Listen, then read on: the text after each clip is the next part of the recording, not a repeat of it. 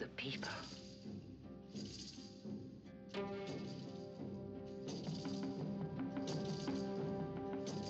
The man called Horse knew the ancient. Interesting facts about famous people. A Man Called Horse, a Western trilogy.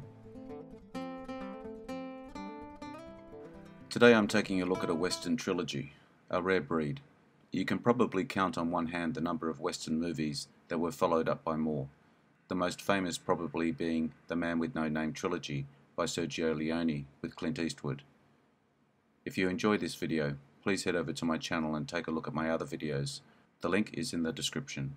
Apologies up front for any mispronunciation of names.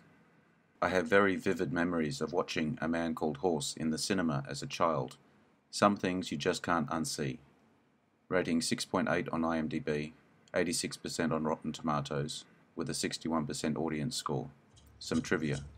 For his painful vow to the Sun initiation ceremony scene, Richard Harris wore a prosthetic chest created by makeup artist John Chambers.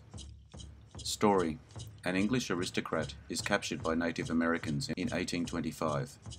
After being taken captive and living with them, he begins to understand their way of life. Eventually, accepted as part of the tribe, he aspires to become their leader. The story is based on the experience of Cabeza de Vaca, a Spanish soldier captured by indigenous Americans in 1528.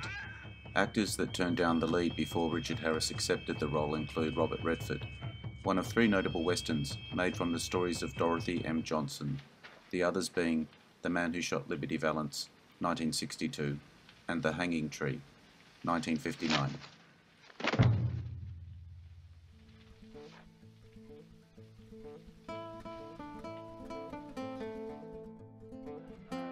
Following up the first movie was The Return of a Man Called Horse, 1976. In the 1840s, trappers with government backing pushed the Yellow Hand Sioux off their sacred land. They retreated into an apocalyptic spirituality, passively waiting for supernatural wrath to descend on their usurpers. Meanwhile, in England, Lord John Morgan feels his spirit weaken, so he returns to America to live again with the Yellow Hand.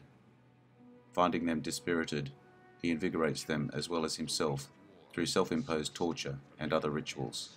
Once he convinces the clan to take direct action, Horse must devise a strategy to take the trappers' fort.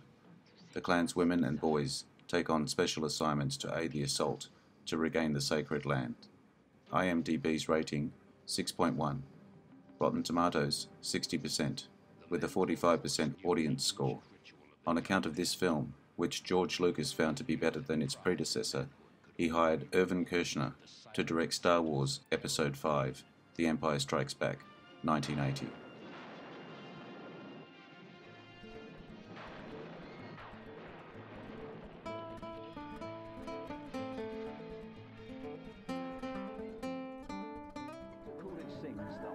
Finally, and to complete the trilogy, Triumphs of a Man Called Horse, 1983. John Morgan lived three decades as a Sioux named A Man Called Horse in 1874.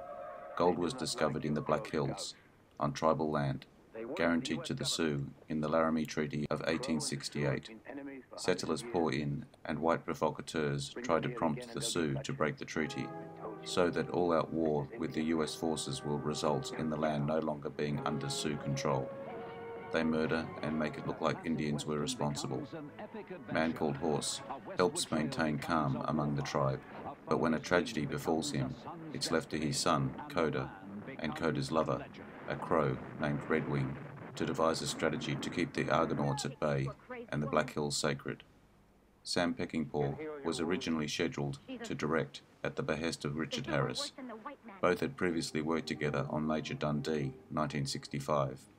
Due to Peckinpah's unofficial blacklist after his erratic behaviour on Convoy, 1978, he was replaced by John Hoare. IMDb 5.3, Rotten Tomatoes 50% audience score. I hope you enjoyed this video. Leave me your comments. I really appreciate your likes, shares and subscribers. As always, please hit the notification button to get my new videos. Take it easy. Bye for now. See you again soon. Please take time to take a look at my Facebook page for new information.